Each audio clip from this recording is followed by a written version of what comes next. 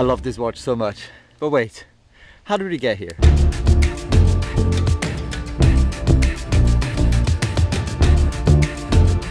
I'm gonna take you through our roller coaster of emotions today and how I went from thinking that the Apple Watch Ultra was the best thing since sliced bread to looking elsewhere. I have come to a decision for myself and I try to structure this video in a way that I think will help you if you are on the fence between these two brands or considering an upgrade. Roll the intro. There's no intro. We don't like to waste people's. In some parts of this video, my hay fever is really bad right now, so apologies for how I sound right now. And this video is not sponsored. I made this video because of you. So many of you have suggested that I should try the Garmin, and a lot of you have been following my journey so far as well. And you know, it's been a lot of fun. I'm Alex, and I do down to earth tech videos. And to start off with, I was pretty happy with the Apple Watch Ultra, you know?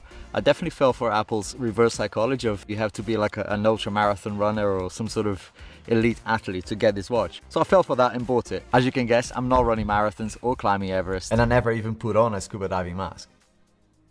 Okay, maybe I did once. I'm like mm. as standard dad-like as they come. But it looks like I wasn't alone. In that video where I shared my experience with the Apple Watch Ultra, looks like a lot of you were on the same boat and ended up buying this watch. That video is one of the most popular videos on the channel. But after a while, I'd say after a month or so, I did start to have some battery issues. This wasn't impacting everyone, but it was bad enough for me to notice. I shared my battery woes in a video thinking I was alone in this, but it turned out that a lot of people were experiencing the same issue. What I learned during that time was that a fresh install of the watch and removing some of the apps that get automatically installed kind of seemed to help the battery life. But after a while, you know, after a few days or a couple of weeks, you would be back to being bad again. But then WatchOS 9.2 came out and wow, you know, that update so far was the best for me. It really made the battery issues go away, my notifications were consistent and everything was working fine which you know gave me a lot of confidence in the watch again. They added crash detection as well in the update, but thankfully I never needed that. Right now we're on 9.5.1 software and I'm getting about two days of, you know, two full days of battery. If I'm fairly active and using the watch to track my sleep, you know, two days max maybe three days if I'm not as active or sleep tracking, but that's not enough for me. Now, for, for how much we pay for this watch, two days is not enough, right? This is meant to be uh, an extreme watch, right? You're meant to be in a mountains, in isolation or whatever. In two days, it's not gonna get you very far. Now, let's talk a little bit about the fitness tracking stuff, right? I'm not a fitness mad person. I'm trying to stay active and exercise regularly, but I do care about my trends and looking at the data, right, to figure out what I need to improve on when I do work out. That's the workout out of the way. But the more I used the Apple Watch Ultra for tracking exercise, the more I realized that I was missing some data. Sure, it's all there if you look for it, and with WatchOS 10 coming up, there's a lot of cool features being introduced, like topology maps, which has been missing. But one, it doesn't look like they made a lot of changes to the workout app. And two, at the time of recording, it's not really launched yet, so we're gonna have to wait a few months for it. What I don't have to wait is for my food now lunchtime. Not to mention that I now have mostly Android phones, which makes it interesting, right, when using the Apple Watch. Basically, I had to get a burner iPhone 13 mini just to sync the watch, but anyway, that's not Apple's fault, right? It's my preference right now. But I'm quite happy with the setup that I've got going here. With WatchOS 10, it does look like Apple is making the Watch Ultra, you know, an even better smartwatch but not necessarily a better sports watch. So I kept trying other apps like Athlytic, which has been fantastic. If you are sticking with Apple Watch, you know, honestly, I definitely recommend you look at the app or WorkOutDoors as well. Amazing apps really that will give you a bit more than the usual workout app on the Watch Ultra. Now, this is the turning point in this whole story. After my six months later review of the Apple Watch Ultra and my sort of lackluster feeling towards the Watch Ultra, Many of you asked me, you know, why don't you try the Garmin? And you know, it's a lot of money to throw at a watch, so I was quite reluctant to go out and spend another few hundred on a watch. But I felt like I gave the Watch Ultra enough of a chance and I was really, really wanting to try something else. And so many of you suggested the Garmin and one of you was kind enough to send me this one out, you know, just to try out. I mean, I love this community that we're building here and Lee, you are an absolute legend for doing this. I'm so grateful to you because your gesture you know, kind of opened my eyes to Garmin and the options that they offer. But you know me, there are major things on this watch that I absolutely love and are way above and beyond what the Watch Ultra can do. And I look like an idiot wearing two watches right now. But equally, there are things on the Watch Ultra that I just can't ignore. They're just too good to ignore. And having said all that, I think I found the perfect compromise. And it's not the Fenix. Let me explain. Actually, just before I do that, just a reminder to like this video if you're enjoying it. And after this video, have a look around the channel. And if you like my stuff, you know, it would be awesome if you subscribed. I'm here at least once a week with a new down to earth tech video for you. And so is that cow by the looks of it. This is the Fenix 6X Pro Titanium Solar. This thing is an absolute menace, you know, in a good way.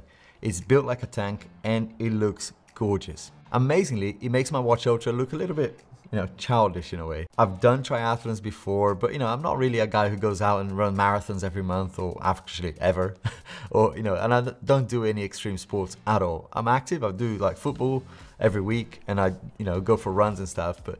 Wearing this watch makes me feel like I could run marathons and I could climb Everest, right? This thing is a beast. And you're probably asking, but why did you say earlier that the Fenix wasn't the answer for you? Well, this is where the Epix 2 comes in. I'll do a proper review on this watch uh, once I spend a few more weeks with it, wearing it and trying it, but really, I just missed the display on the Watch Ultra, you know? It's, it's just such a beautiful display. There are many things that I prefer now on the Garmin, but I just couldn't get used to the memory in pixel display. It's bright enough if you go outside, it's you know absolutely perfect. You know the sun actually makes it look brighter, which is uh, counterintuitive. If you've never used a smartwatch with a, you know with a bright display like the Apple Watch, you know, you probably find this fine and you're never gonna notice any issues. But I just found it really difficult, you know, after so many years of wearing Apple Watches, to go back to a display that is not as bright and not as colorful. I mean, the Fenix is plenty bright, the memory in pixel display is surprisingly bright under direct sunlight, but there's a lot to be said about that deeper black and more colorful display that you get on the Epix. The downside that you could say is that the Epix does look a little bit less serious, but you could say that that's a preference thing, right? I am really loving the Epix 2. The question now is, you know, should I go for the Pro instead? But from a features perspective, I'm pretty happy with this. Maybe I'll wait for the Epix 3. And sure, the uh, Epix doesn't have the same battery as the Fenix, but come on, who needs a month of battery, right? I'm not going to the wilderness for, for a month lovely to know that it's there. Anything more than four or five days is a bonus for me. And you're getting six days um, with the Epix so far. I mean, it, that's what it says on the watch itself. I haven't really seen if it's gonna last six days, but that's amazing, right? In comparison to the Apple Watch Ultra, which for me anyway is only lasting like two days.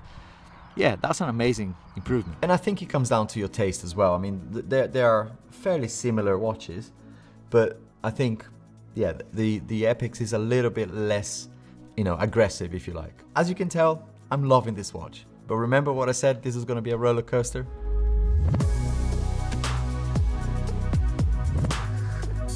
You know, it's a shame really that Garmin watches, for all they cost, you know, how little smartwatch features they offer. Okay, let me rephrase that.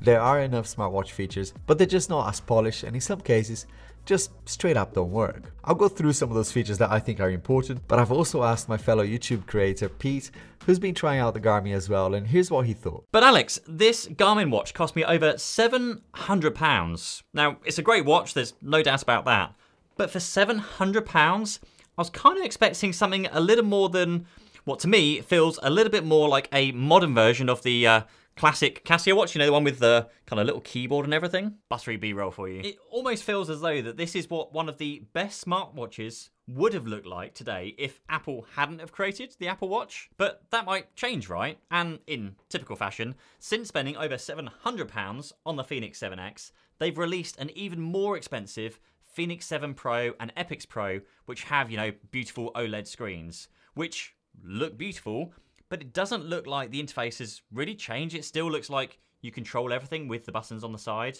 So I think Garmin needs a significant software overhaul, which for now a, a nearly £1,000 smartwatch, I kind of expect the best of breed for that price. What do you think? Thanks, Pete. I've got to say, you know, for that price, I really have to agree with you that more is needed on the software side of things, like contactless payments, right? I'm not sure what it's like in the US, but here in the UK, one of the most popular banks is Barclays, and it doesn't work with it. So for me, I'm like, okay, I'll look past it, and it's just a case of me accepting that I just can't pay with my watch. But unfortunately, that's not all. I have a lot of smart home and car stuff, and you know, lots of utilities that I really use every day, and the Watch Ultra has helped me with that like remotely starting my car with an app on the Watch Ultra, or opening the garage door, or selecting different scenes for my Philips Hue at home. And there are plenty of other utility apps like, you know, 1Password, not to mention the huge elephant in the room, which is the ability to make phone calls. It's not a feature that you use every day or typically even care about until you go out for a run without your smartphone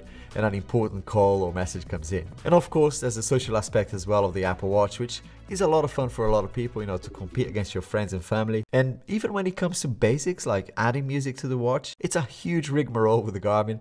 You know, it was a little bit easier on the Fenix somehow, but on the Epix, it keeps asking me to install Garmin Express on my computer, and even after that, it just didn't quite work properly for me. And the interface on that, well, it sucks. Having said that though, when you look at the dashboard that you get with the Garmin, you know, the data and insights that you really care about, wow, you know, this is much better on the Garmin. You know, just look at all this data, you know, all in one place and very well structured. You know, this is something that I feel like I've been missing out on the Apple Watch. Of course, all of these watches will give you enough of these data points anyway in a really nice way, but in my opinion, I just thought it was much easier to find all these data points on the Garmin than it was on the Apple Watch. If you're preparing for a marathon or you're just doing some training, you know, you really want to see your progress, you know, in the easiest and most, you know, concise way possible. Just as an aside actually, the iPad OS 17 will have a better health app apparently, which will give us a better display. But again, that's not out for a few months yet, so hopefully that, that will improve things. And what about the ecosystem? Yeah, it's a problem. As someone who's been using Android phones, it's been so nice to actually, you know, have a lot of things syncing up between the phone and the watch, but I still use MacBooks and lots of other Apple devices. And controlling things like my lights at home and here in the studio or unlocking my computers, yeah, this is when the Garmin watches will kind of fall short. But I see these things as compromises, right? They're trade-offs that I'd say, you know, there's merit in the ecosystem, of course, if you care enough about those things. Do you care more about that all singing and dancing ecosystem?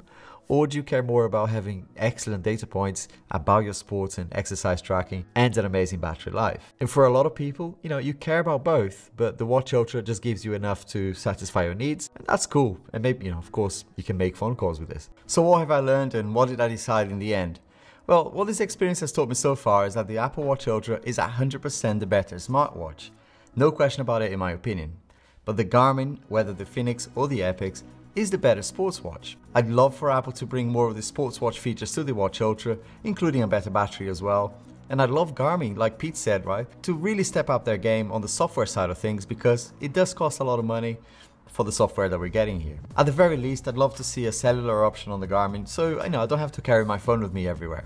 For now, I'm only going to use the Garmin Epix 2 for most days and really only use the Watch Ultra when I'm not training or exercising. I will though install WatchOS 10 on it and give that a go and I'll let you know how I get on. But the Garmin is going to be my main watch for a little while. The thing is, I got the Garmin each now and I'm considering whether I should get the Epix Pro next or wait for the Gen 3. Maybe I'll do a video about that actually, Epix 2 versus Epix 2 Pro or wait for the Epix 3. Pro. Lee, thank you so much once again for sending me your watch because without that this video wouldn't be possible and opening my eyes to Garmin as well. It was indeed only a matter of time. See you soon. Sleep. Ah, it's okay. Yeah, just talking to myself. Thank you. Cheers. Where was I?